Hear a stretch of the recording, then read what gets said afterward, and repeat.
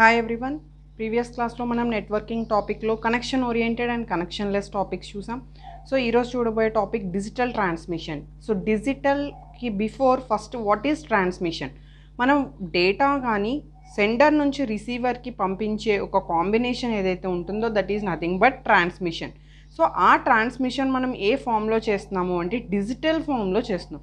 So digital అనే word మనకి computer ఓరియంటెడ్గా మనం తీసుకుంటాం. So digital is nothing but binary ఫార్మేషన్స్తో మనం డిజిటల్గా సిస్టంలో డేటాని స్టోర్ చేసుకుంటాం.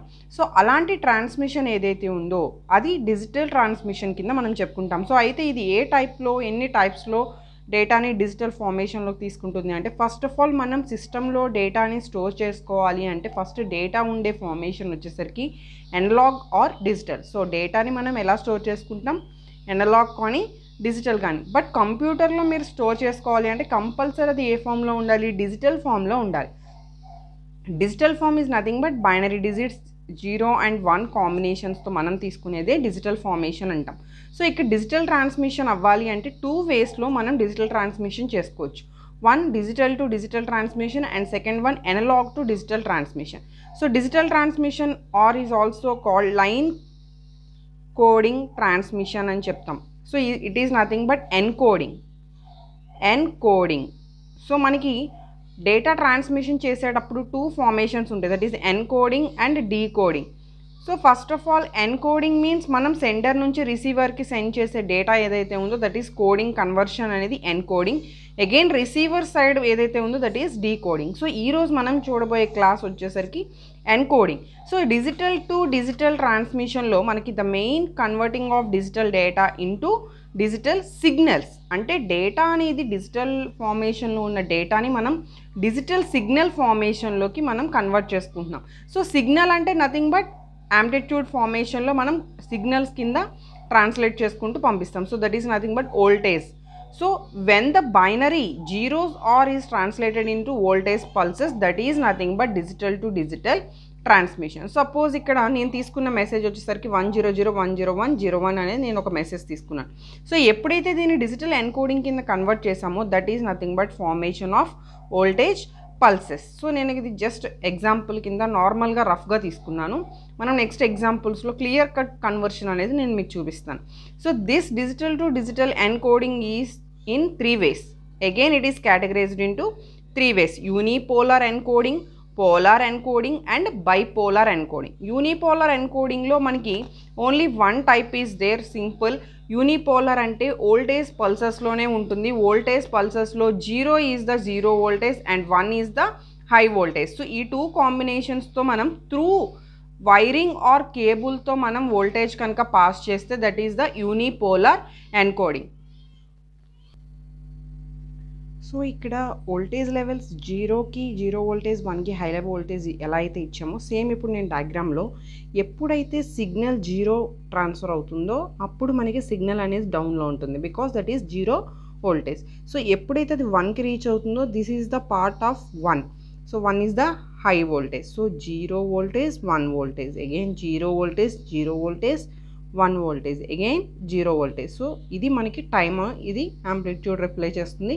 సో ఇది సింపుల్గా మనకి యూనిపోలార్ యూనిపోలార్లో మనకి ఇంకెక్కడ కూడా ఎటువంటి కాంబినేషన్స్ అనేవి ఉండవు. బట్ మీరు పోలార్కి వచ్చేసరికి this is unipolar encoding this is polar encoding so polar ఎన్కోడింగ్లో again it is categorized into three types non return zero that is NRZ return zero that is RZ and biphase ఈ three పార్ట్స్లో మనం polar ఎన్కోడింగ్ని refer చేస్తాం. So అందులో first one non return zero ఏంటి అంటే it uses two different voltage levels so అవి కూడా binary value same one and zero one is the positive voltage and zero is the negative voltage ఇప్పుడు మనకి NRZ L NRZ I అని చెప్పి మనం two categories తీసుకుంటున్నాం.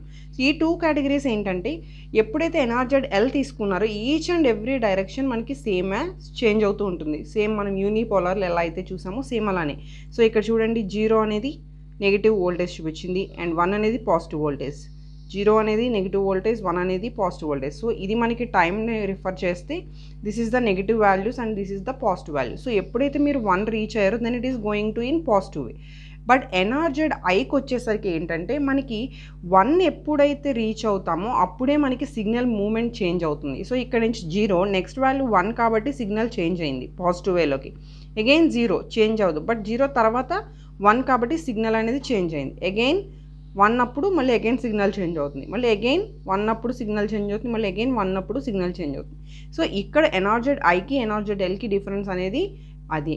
సో ఇక్కడ only ones and zeros both ఏదైతే వాటి యొక్క స్పెషాలిటీ ఉంటాయో ఆ స్పెషాలిటీని కంటిన్యూ చేసుకుంటూ వెళ్తే బట్ ఇక్కడ only the value change about one మాత్రమే ఇక్కడ వాల్యూ అనేది చేంజ్ అవుతూ ఉంటుంది. So this is about NRZ L అంటే నాన్ రిటర్న్ జీరో సంబంధించిన దాంట్లోనే టూ అనమాట NRZ L NRZ I. So next return జీరోకి సంబంధించి రిటర్న్ జీరోలో again positive values to represent one and negative values represent zero so ఇక్కడ జీరో వోల్టేజ్ అనేసరికి none అనమాట అంటే ఇక్కడ యాంప్లిట్యూడ్ టైము రిఫర్ చేసేటప్పుడు రిటర్న్ జీరోకి సంబంధించి మనం ఎలా చేస్తాము అంటే చూడండి జీరో ఇక్కడ జీరో ఎప్పుడైతే రీచ్ అయిందో it is normal negative values okay so then again it again going to the one position so again zero and normal position. So zero it represent that is nothing. Zero voltage is represent nothing. But negative values ఎప్పుడైతే represent చేసినాయో that is zero. Okay? ఎప్పుడైతే one represent అయిందో same మనం positive వోల్టేజ్ని represent చేస్తాం. So this is about return to zero encoding. Okay? మనకి ఇప్పటి వరకు మనం తీసుకున్న ఇవన్నీ కూడా పోలార్ ఎన్కోడింగ్లో తీసుకున్నాం. సో పోలార్ ఎన్కోడింగ్లో మనం తీసుకున్న త్రీ కేటగిరీస్ వచ్చేసరికి non zero next return to zero biphase. ఇప్పుడు బైఫేస్లో టూ టైప్స్ అనేవి మనం డిజైన్ చేసుకుంటాం. సో పై బైఫేస్ వచ్చేసరికి again two parts Manchester and differential Manchester ఇప్పటి వరకు మనం తీసుకున్న ఈ కాన్సెప్ట్స్ వరకు యూనిపోలార్ ఎన్కోడింగ్ చూసాం పోలార్ ఎన్కోడింగ్లో ఫస్ట్ టూ పార్ట్స్ చూసాం. సో ఇక్కడ biphase and remaining third one వచ్చేసరికి నేను నెక్స్ట్ క్లాస్లో మీతో డిస్కస్ చేస్తాను. సో ఇక్కడ వరకు మనకి నోట్స్ మీరు మెన్షన్ చేసుకునేటప్పుడు ఒక్కసారి క్లాస్ ప్రిపేర్ అయ్యేటప్పుడు మీరు ఇంపార్టెంట్ పాయింట్స్ అనేవి నోట్ చేసుకోండి. ఈ పాయింట్స్ అనేవి మీరు కంపల్సరీ అక్కడ అండర్లైన్ చేయాలి ఎగ్జామ్లో. అలానే ఇంటర్వ్యూ పాయింట్ ఆఫ్లో కూడా ఇవి చాలా ఇంపార్టెంట్. సో మీరు ఎప్పుడైతే సెమ్ ఎగ్జామ్స్ అటెండ్ చేస్తారో డయాగ్రామెటికల్గా రిప్రజెంట్ చేసి ఇక్కడ నేను చెప్పిన each and every diagram combinations అక్కడ మీరు కవర్ అయ్యేటట్టుగా నోట్స్ కనుక మెన్షన్ చేసుకుని ఎగ్జామ్ అటెంప్ట్ చేస్తే మీకు మార్క్స్ అనేవి మంచి స్కోర్ వస్తుంది. Thank you